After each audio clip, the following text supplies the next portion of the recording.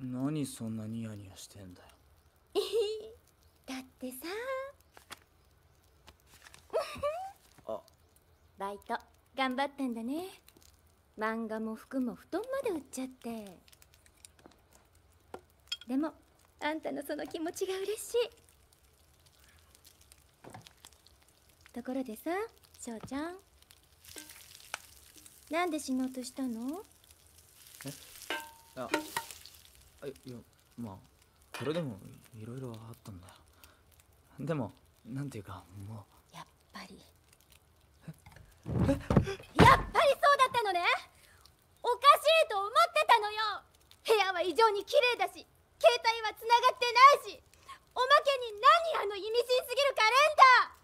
4月から後がちぎれてた。死ぬのやめるって言わなきゃこれ。燃やすわよ。あんたが汗水垂らして稼いだ170万